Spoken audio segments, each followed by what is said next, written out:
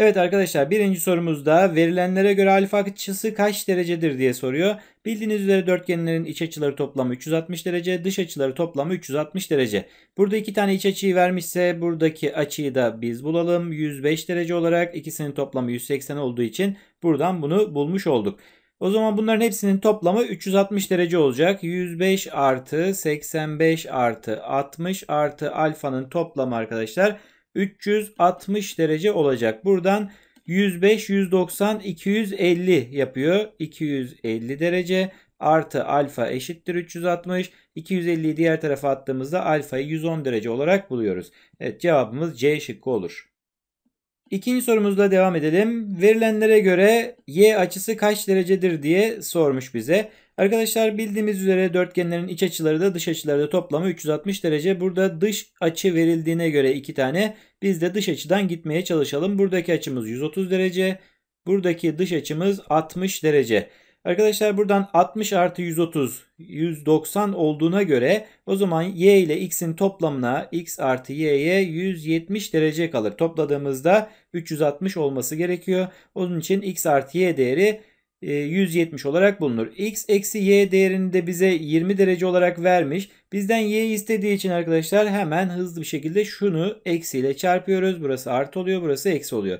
Topladığımızda x'ler birbirini götürdüğü 2y eşittir 150 derece. y eşittir 75 derece olarak bulunur. Cevabımız C şıkkı olur. Üçüncü sorumuzla devam edelim. ABCD bir dörtgen demiş ve verilenlere göre alfa kaç derecedir diye soruyor. Arkadaşlar dörtgenlerde ardışık iki tane açı ortayın oluşturduğu bu açı bu iki açının toplamının yarısına eşittir. Alfa eşittir 110 artı 120 bölü 2 230 bölü 2'den 115 olarak bulunur. Yalnız şöyle bir şey de var. Tabi biz bunu böyle ezberden değil de harf değeri vererek de yapabiliriz. Yani buraya A A dediniz. B B dediniz arkadaşlar. 2A artı 2B bakın. 2A artı 2B artı 110 artı 120'den 220 eşittir 360 derece yaparız. Bunu diğer tarafa atarsanız 2A artı 2B eşittir 140 derece kalır. O zaman A artı B değerine 70 derece kalacaktır. Eğer A artı B değerini biliyorsak artık üçgenin iç açıları toplamından bu ikisinin toplamı 70 ise demek ki buraya da 110 derecelik bir açı kalacak arkadaşlar. Şuraya da yanlış işaretlemiş, e, yanlış yapmışım. 100 derece ile toplamamız gerekiyormuş. Burada yanlışlık yapmışız arkadaşlar. 100 derece 120 derece bölü 2'den 110 derece olarak bulunuyor. İyi ki e, formülsüz yolunu yapmışım. Evet cevabımız D şıkkı 110 derece olacak arkadaşlar. Dördüncü sorumuzla devam edelim. Burada ABC alfa açısı kaç derece olabilir diye sormuş arkadaşlar. Şimdi dikkat edelim. Şöyle bir e, kuralımız var. Karşılıklı açı ortaylar yani ardışık olmayan köşelerden gelen açı ortayların ortasındaki bu açı ikisinin farkının yarısına eşittir. Yani 60 eksi alfa bölü 2'nin değerine eşittir. Buradan tabii ki mutlak değer içinde yapıyorum. Çünkü buradaki alfa değerinin e, büyük ya da yani 60'tan büyük mü küçük mü olduğunu bilmediğim için bu şekilde yazdım. O zaman arkadaşlar şöyle yazarsak 60 eksi alfa değeri 2 çarpı 10'dan 20'ye eşit olacak. Burada 60 eksi alfa değeri ya 20'ye eşittir ya da 60 eksi alfa değeri eksi 20'ye eşittir. Buradan yaparsam 80 eşittir alfa olacak. Buradan yaparsak 40 eşittir alfa olacak. Yani bu durumda ya 40 olacak ya da 80 olacak. Bizden hangisini istemiş? Ee, bir tanesini olabilir diye sormuş. Cevabımız D şıkkı 80 olacak arkadaşlar. Beşinci sorumuzla devam edelim. ABCD bir dörtgen. E, AB, AD ve CD birbirine eşit. Burada eşitlikleri vermiş bize. BCD alfa kaç derecedir diye soruyor. Arkadaşlar buradaki tepe açısı 100 derece ise 180'den 100'ü çıkarttım. 80 2'ye böldüm. 40 40 geldi. Burada bu ikisinin 40-40 gelmesi burada aynı zamanda 60 derecelik bir açının olduğunu gösterir. 60 derece var. Arada da bakın iki tane kenar da birbirine eşitse mutlaka şu çizginin çizilmesi gerekir. Bu çizgiyi çizdiğimizde neyi göreceğiz?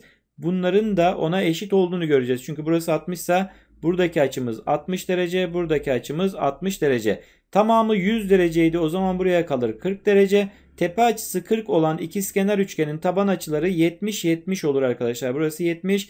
Buradaki açı da 70 derece olur. Bu durumda 70 artı 60'tan 130 derece olarak buluruz bu sorunun da cevabını.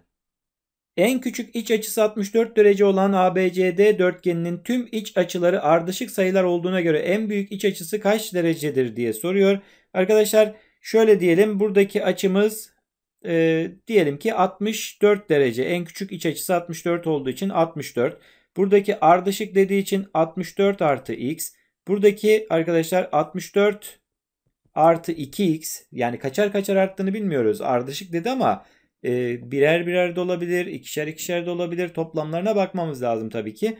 Buradaki değeri de 64 artı 3x. Üçer üçer artıyorsa 64 artı 3, 64 artı 6, 64 artı 9. Dörder dörder artıyorsa da bunu bu şekilde söylemiş olacağız. Bu durumda arkadaşlar 64 e, ne yapıyor? 128, 256. 256 256 arkadaşlar. Artı 1x, 2x, 3x, 3x de burada var. 6x eşittir 360. 360'ı yazdık. 256'yı diğer tarafa atarsam 104 derece kalacak. 104 derece. Arkadaşlar bizden istediğine en büyük iç açısı kaç derecedir diye soruyor. Buradaki en büyük iç açı dikkat edin 64 artı 3x. Bizden istenen yer 64 artı 3x ise ben burayı 2'ye bölersem her iki tarafı 2'ye böldüğümde 3x'in 52'ye eşit olduğunu görürüm. O zaman 64 artı 52'den arkadaşlar 6, 6, 5, 11, 116 derece olmuş olacak. Cevabımız da C şıkkı çıkar. Yedinci sorumuzla devam edelim. Bir kural sorusu arkadaşlar. Dörtgende köşegenler dik kesişiyorsa karşılıklı kareler toplamı birbirine eşittir. Kenar olarak düşündüğünüzde birinci, ikinci, üçüncü, dördüncü kenar derseniz 1 ile 3'ün karesi 2 ile 4. kenarların kareleri toplamı. Burada nereden başladığınız önemi yok. Burası 1 diye başlarsanız 1, 2, 3, 4 sıralaması yaptığınızda 1 ile 3, 2 ile 4 karşılıklı kareleri toplamı birbirine eşit. Burada hemen yazıyorum o zaman. 3'ün karesi artı 4'ün karesi bunlar ikisi karşılıklı. Bunlar da ikisi karşılıklı olacağından dolayı arkadaşlar kök 21'in karesi artı x'in karesi olacak. Buradan zaten görüyorsunuz 9 artı 16'dan 25 geliyor. 21 artı x kare bunu diğer tarafa atarsam x kare eşittir 4 x eşittir 2. Bizden zaten x istemişti cevabımız 2'dir arkadaşlar. K noktasında yere dik olarak yerleştirilen direği sağlamlaştırmak için A ve B noktalarından C ve D noktalarından birer halat geçirilmiştir.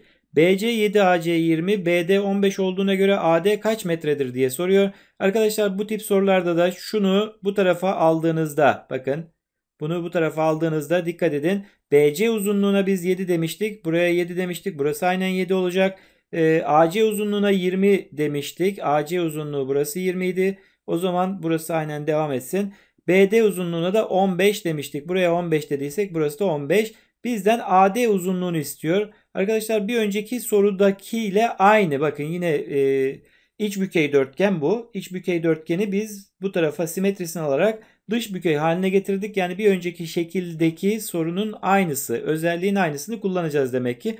7'nin karesi artı x'in karesi 7'nin karesi artı x'in karesi eşit olacak 20'nin karesi artı 15'in karesine. Buradan ikisinin karesi olacak. Evet arkadaşlar buradan işlem yaparsak şöyle e, hemen hızlı bir işlem yapacağım. Bakın burası bir dik üçgenin kenarları olsa 15, 20, 25 üçgeni demek ki burası 25'in karesi olacak. Uzun uzun yaptığınızda da aynı şey gelir. Buradan da baktığınızda e, burası dik üçgenin e, kenarları ise bir kenarı 7, bir kenarı x, hipotenüsü 25. 7, 24, 25 olacağı için x 24 olmuş olacak arkadaşlar. Kısa yol çözümü bu şekilde olur. Ha, uzun uzun Pisagor bağıntısının sonucunu siz yaparsınız artık eğer onu denemek isterseniz. Dokuzuncu sorumuzla devam edelim. ABCD bir dörtgen ve yukarıda verilenlere göre AC nedir diye soruyor. Zaten bütün verilenler üstünde Buna göre arkadaşlar 30 derecenin gördüğü yere x dersek şuradaki açımız 60 derece. O zaman buradaki uzunluk x kök 3 olacak. Bizden AC uzunluğunu istemiş. O zaman 30'un karşısı x ise 90'ın karşısı burası 2x olacak. Dikkat ettiyseniz bu şekil yine köşegenleri dik kesişen dörtgen. Bu dörtgende karşılıklı kareler toplamı birbirine eşitti. Bu durumda x'in karesi artı 3 kök 2'nin karesi eşit olacak. x kök 3'ün karesi x kök 3'ün karesi artı e, 2 kök 3'ün karesine 2 kök 3'ün karesine. Buradan arkadaşlar x kare artı 9 çarpı 2'den 18 buraya geliyor. Buradan 3x kare artı 2 kök 3'ün karesi 4 çarpı 3'ten 12 geldi. Evet bunu buraya bunu buraya atarsam 6 eşittir 2x kare x kare eşittir 3 x eşittir kök 3. Bizden ne istemişti? 2x'i istemişti arkadaşlar burayı. O zaman cevabımız 2 kök 3 olarak bulunur. 10. sorumuzla devam edelim. Arkadaşlar şöyle diyelim burada e, alfayı soruyor bize. Şunu söyleyelim. Buradaki açıya A, buradakine A, buradakine B, buradakine B, C, C, D, D diyelim. Şimdi şuraya X, buraya da Y diyelim. Ben bu iki açıyı bulursam zaten olay biter. Ee, ya da hiç oraya girmesek de aslında X, Y demesek de olur. Şöyle diyelim hatta arkadaşlar. 2A, 2B, 2C'nin ve 2D'nin toplamı 360 derecedir. O zaman A artı B artı C artı D'nin toplamı 180 derecedir.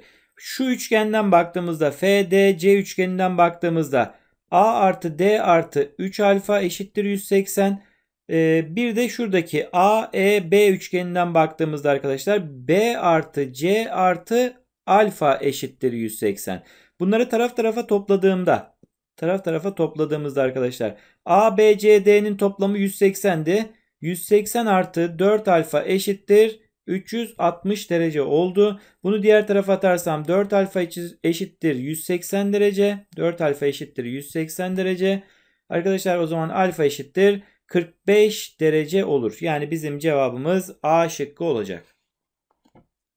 ABCD dörtgen demiş. Yukarıda verilenlere göre AD nedir diye soruyor. Arkadaşlar şurada 120 derece ve arada bakın kenarların da birbirine eşit olduğunu görüyoruz. Bu durumda ben A'dan C'ye çizersem burada neyi görürüm? 120 30 30 üçgenini görürüm. Burası 30, burası 30. O zaman şuranın tamamı 120 dereceydi. Buraya 90 derece kalıyor. 120 30 30 üçgeninde e, kenarların kök 3 katıydı 120'nin karşısı. 2 kök 3'ün kök 3 katı 6 olacak arkadaşlar. Burası da 6 8 10 üçgeni çıkacak. Cevabımız da B şıkkı olacaktır. Son sorumuzla devam edelim. ABCD dörtgen biçimindeki düz bir zeminde E noktasından harekete başlayan bir karıncanın kesik çizgiler üzerinden yürüyerek tekrar E noktasına vardığında aldığı en kısa yol 18 metre. Buna göre ABCD dörtgeninin köşegenlerin uzunlukları toplamı kaç metredir diye soruyor. Arkadaşlar şunu hemen görelim buradan. E, bu e, karınca buradan bu şekilde gelip tekrar E noktasına gelmiş. Bunun aldığı yol köşegen uzunluklarının toplamına eşittir. Neden eşittir? Bunu göstermeye çalışayım. Arkadaşlar buradaki parçaya A derseniz orta tabandan dolayı buranın tamamı 2A olacak. Aynı şekilde buranın da A olduğunu söyleyebiliriz. Bu mantığın aynısını bir de tam tersinden AC için kullanırsak buradan AC için kullandığımızda şuraya B dersem burası 2B burası da B olacak. Arkadaşlar karıncanın gittiği yer bakın buradan A buradan A 2A. B, B, 2B. Bizim köşegen uzunluklarımız 2A, 2B. O zaman gittiği yolla köşegen uzunluklarının toplamı aynı olduğu için cevabımız 18 olacak. Yani C şıkkı cevabımız olur. Evet arkadaşlar bu soruyla birlikte bu testin sonuna geldik. Bir sonraki testte tekrar görüşmek üzere. Kendinize iyi bakın. Hoşçakalın.